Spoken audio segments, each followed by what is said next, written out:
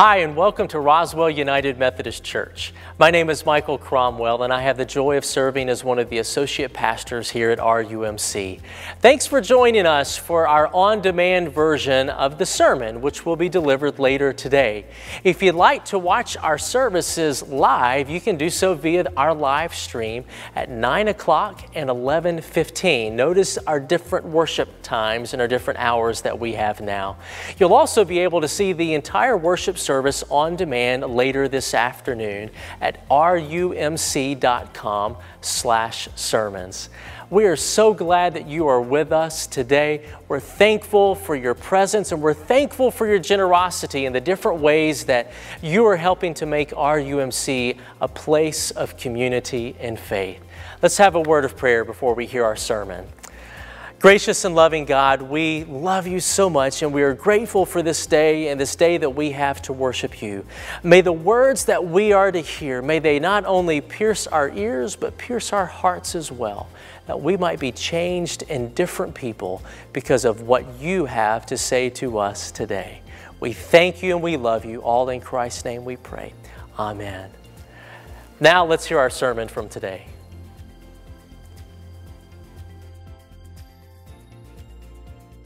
This morning I'll be reading from the Gospel of Luke, chapter 24, and I'll be reading verses 36 through 49. And this is what it says Now, while they were telling these things, Jesus himself stood in their midst and said to them, Peace be to you. But they were startled and frightened and thought that they were looking at a spirit. And he said to them, Why are you frightened and why are doubts arising in your hearts? See my hands and my feet, that it is I myself. Touch me and see, because a spirit does not have flesh and bones, as you plainly see that I have. And when he had said this, he showed them his hands and his feet. While they still could not believe it because of their joy and astonishment, he said to them, Have you anything here to eat? They served him a piece of broiled fish, and he took it and ate it in front of them. Now he said to them, These are my words which I spoke to you while I was still with you, that all the things that are written about me in the law of Moses and in the law of Moses and the prophets and the Psalms must be fulfilled. Then he opened their minds to understand the scriptures, and he said to them, So it is written that the Christ would suffer and rise from the dead on the third day, and that repentance for forgiveness of sins would be proclaimed in his name to all the nations, beginning from Jerusalem. You are witnesses of these things, and behold, I am sending the promise of my Father upon you, but you are to stay in the city until you are clothed with power from on high. Pray with me. Lord, this morning the, the reading begins with peace and it ends with power. Lord, may your peace and your power be something that aren't just words printed on a page, but you living in our lives. It's in Christ's name we pray. Amen. Larry Walters was a 33 year old truck driver who lived in Southern California. He was sitting in his yard one day when he came up with an idea. After drinking a few cold beverages, he came up with the idea sitting in his lawn chair that what would happen if, if he took some weather balloons and attached them to his, his lawn chair. Maybe he could fill them with helium and, and rise up and see what his neighbors were doing there.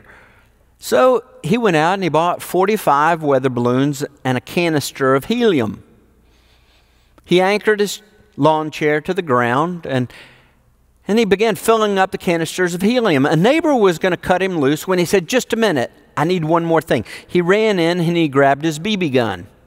He said, If I, I start rising too fast, I can start shooting out some of the, the weather balloons and, and come back gently to earth.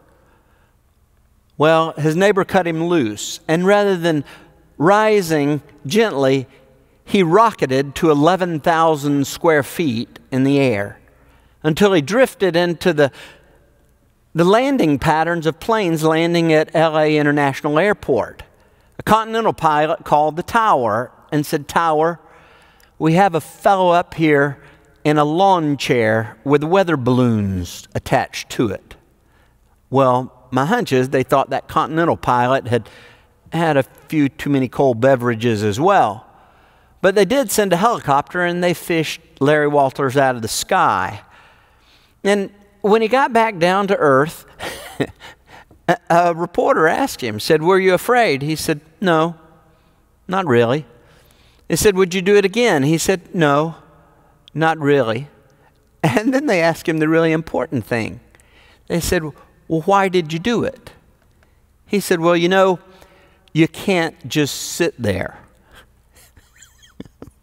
well, you know, you can't just sit there, but, you know, sometimes you really should. Um, one of the, what Jesus says at the end of our reading is stay. Stay. So often it is. We, we have a tendency to think that our, our, our power comes from rush, rush, rush, and go, go, go, and hurry, hurry, hurry. And, and that's how we get things done in this life. But you really can just sit there. You really can stay. And that word stay here literally means we really can't be still. That the disciples knew where Jesus' strength came from. And in Luke chapter 4, the disciples tell us that often Jesus would slip away to deserted places to pray. That Jesus would stay before he hurried. He would stay before he would go. He would stay. Stay and know where his, his power came from. It was in that time spent with, with God. And that's what I want to talk about this morning.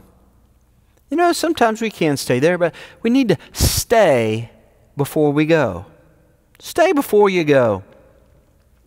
And the first thing that, that our reading tells us this morning is, is to, to stay in peace. Verse 36 says, And now, while they were telling these things, Jesus himself stood in their midst and said to them, Peace be with you. Peace be with you. Larry Nelson is one of the greatest golfers of all time.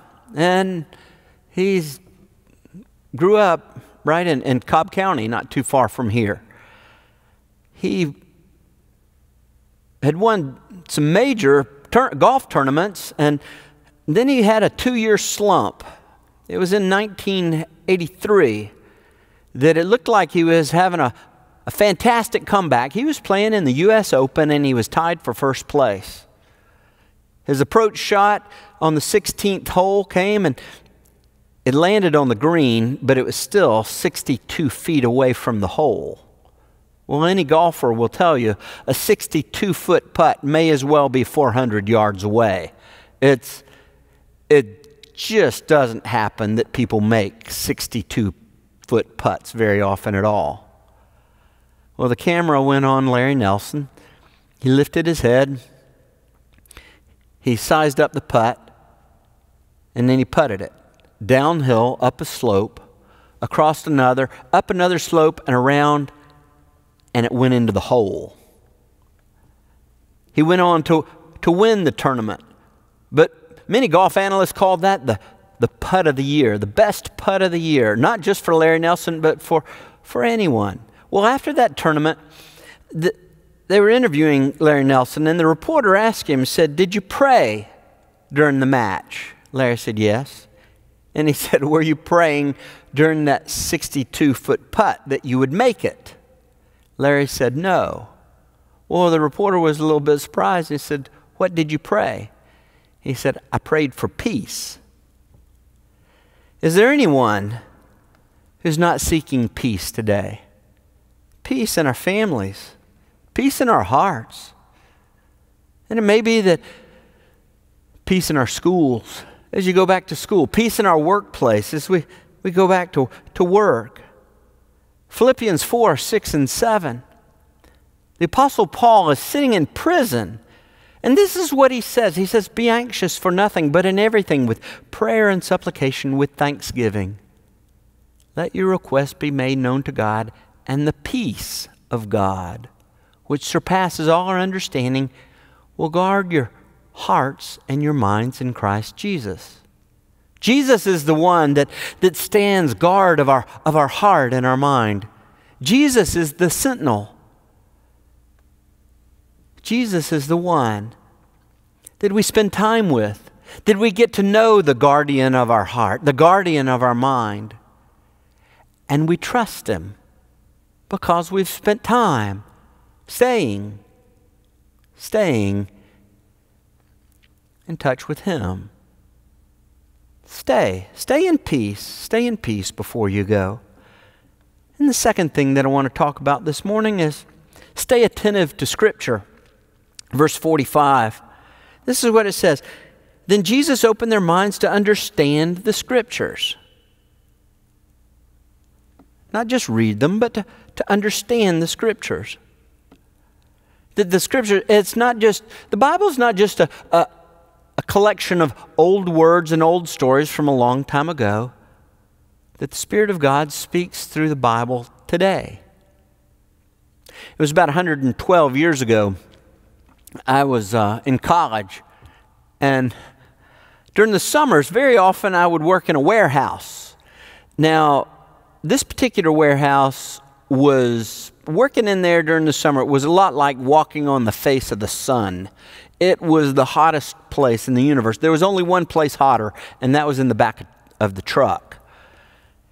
And we'd spend the whole of the day loading these trucks, and usually the truck would go out for a delivery the next morning. And on occasion, there'd be, they would be short of a driver. And this company that I worked for, we'd make deliveries all over the state of Georgia. Well, the first time that I was a driver making delivery of a, truck someone else had loaded, I I was making a delivery all the way down to South Georgia. I drove all day to get down there, opened up the back of the truck, and it came time to make that first delivery. And whoever loaded the truck did not put that first delivery on the back of the truck, it was all the way in the belly of the truck. I had to nearly unload the whole truck in order to get to that first delivery. And once the, I made the delivery, I had to load uh, everything that I had unloaded and then the second delivery, I didn't know where anything was because I had loaded and unloaded the truck without knowing the proper order to, to unload the truck from. It took me one day longer than forever to make that first truck delivery. And I discovered something very, very, very important that most of the wear and tear in this life has to do with poor loading. Most of the wear and tear in this life has to do with poor loading, the way we load our minds, the way we load our hearts, the stories that we load into our minds and into our hearts, the videos we load into our minds, into our hearts, the words that we load into our minds and our hearts. That if we load fear and worry, guess what comes out first?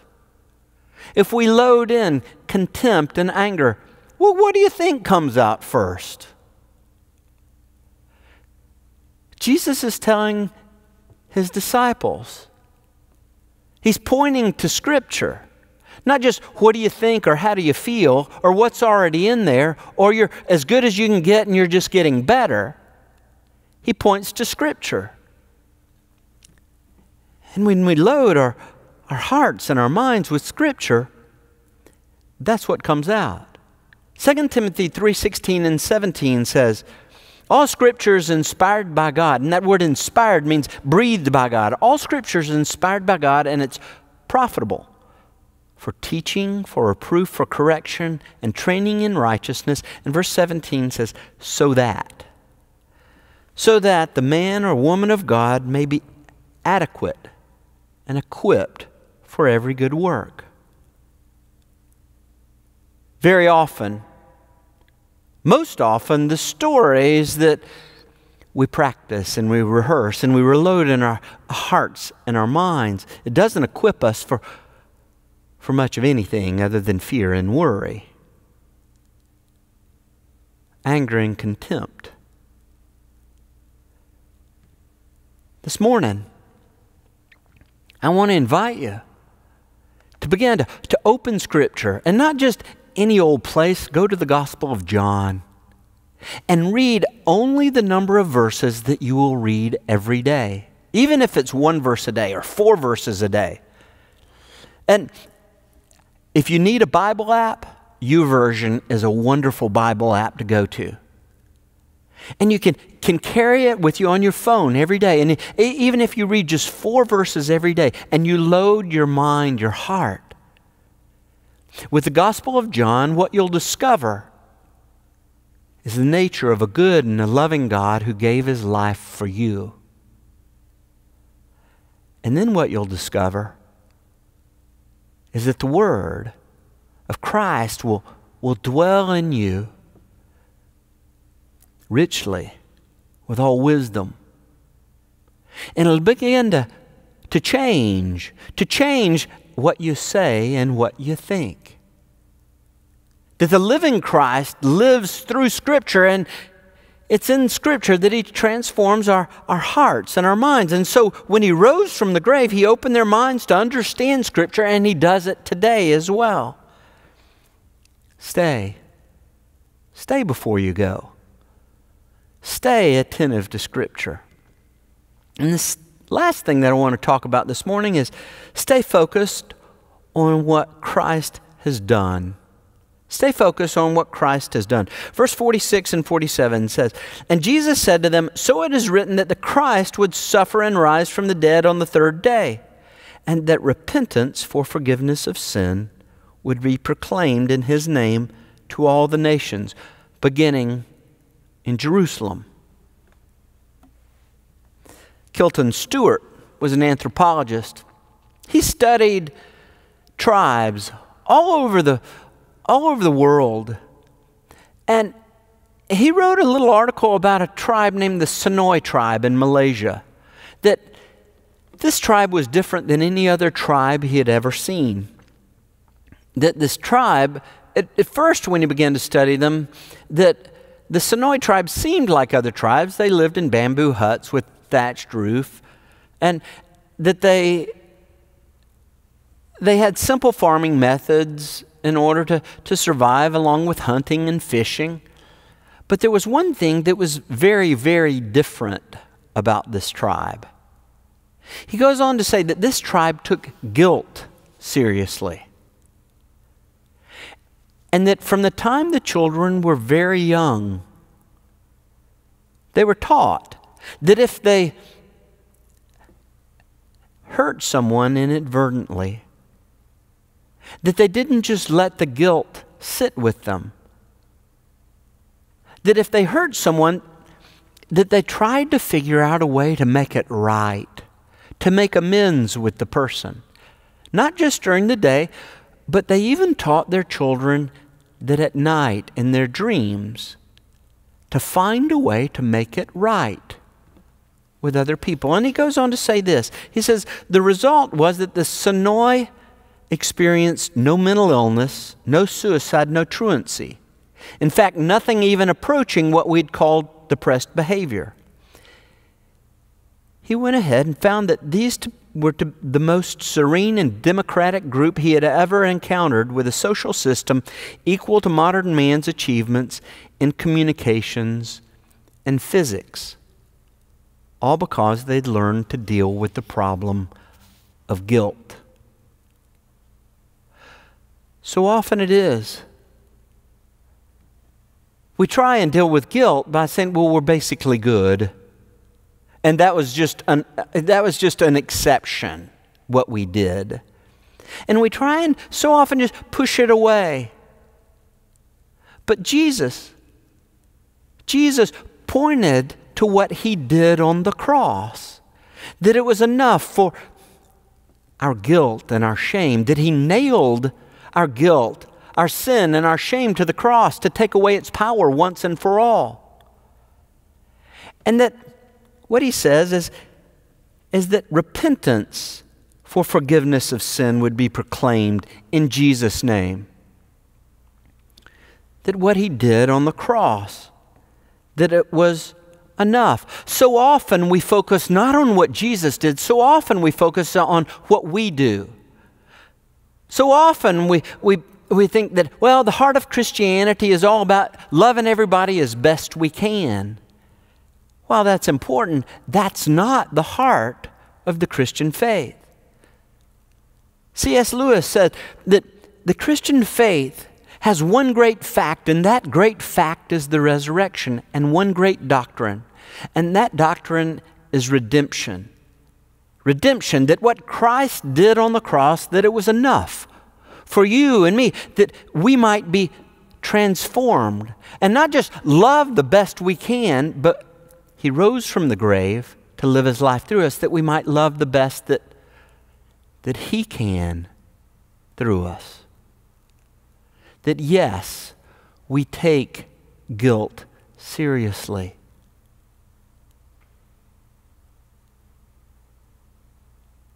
Jesus died on the cross for your guilt and sin and shame, for my guilt and sin and shame, and for our neighbor's guilt and sin and shame. Colossians 3 13 says, Bear with one another, forgiving each other. Whoever has a complaint against anyone, just as the Lord forgave you, so also should you. We approach one another not with a sense of higher or lower, but with a sense of humility, knowing that the very grace that you and I have received is available to them as well. We can't get that by rushing through life. We can't understand that or, or have that as a part of our hearts, our minds in the middle of busy, busy, busy, rush, rush, rush, and go, go, go. Did we stay? We stay before we go. We stay focused not on what we do, but what on what Christ has, has done for us. And we approach others in humility and grace. This morning, it may be that you've not received that forgiveness because you've been he- hesitant to admit that you need it.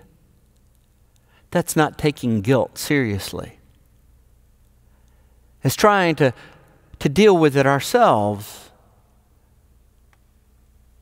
Scripture points to what Christ has done for, for you and for me, not just what we can do on our own, because we fall woefully short. This morning it may be that you've never asked Jesus to forgive you. Take guilt seriously enough to ask Him. Stay. Stay in prayer and ask Him to forgive you. Or it may be that you've not stayed focused on Scripture. Maybe you've tried to f- focus on good things, wonderful things, but it's not Scripture. And this day, that you want to start reading Scripture a little bit every day so that your heart and your mind might be loaded with something different. The power of His Holy Spirit living in you through words found in Scripture. Or it may be that this morning you've not known His peace because you haven't stayed and asked for that peace. He gives it, and He gives it freely. And I want to pray with you this morning. Pray with me. Jesus, this day, you start with peace and you end with power. So often we want to start with power and go and hurry and rush. And we miss you because we don't ever stay to, to listen for your voice. We don't stay to receive your peace. We don't stay to receive your power, the power of forgiveness that's available to us today. This morning, it's a great day for confession. To turn over to you those places where we've blown it, where we've fallen far short, and we take guilt seriously. That you might make us right with you, and, and that we might stand.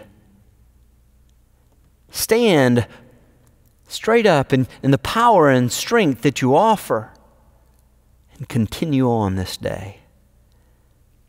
Continue on attentive to your voice through Scripture, attentive to your peace.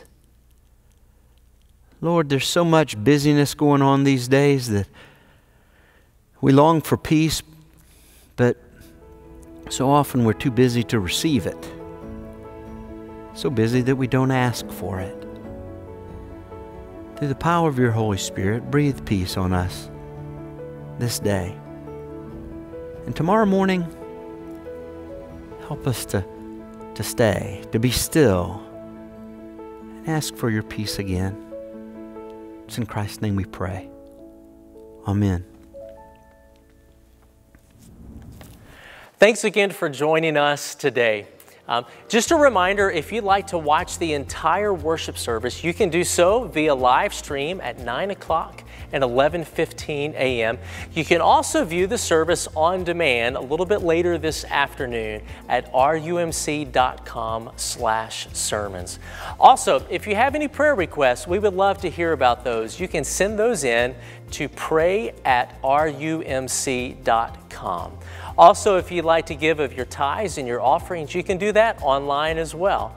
And that's at rumc.com slash giving. Uh, thanks again for joining us today and for honoring God with your presence. We hope and pray that you have a wonderful week, and we look forward to seeing you again next week.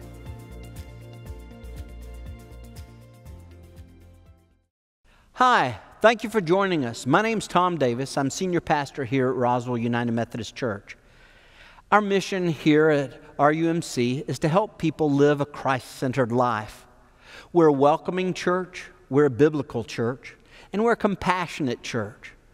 That the, we believe that the way that, that God made us, that He made us in His image. And what the Bible tells us is that His image is an us, is an our. When God said in the creation story, let us create humans in our image. He made us to be in community together, He made us to connect to Him and one another. That's the place that this is at Roswell United Methodist Church, a place of community and faith. I want to invite you to join us. It might be online, it might be through social media, or it might be here in person. We meet at 9 o'clock in a contemporary service with a band. We also have two 1115 services. One is here in the sanctuary with a traditional choir, an organ. We also meet at 1115 with a band in our chapel. Thank you for joining us, and I look forward to meeting you.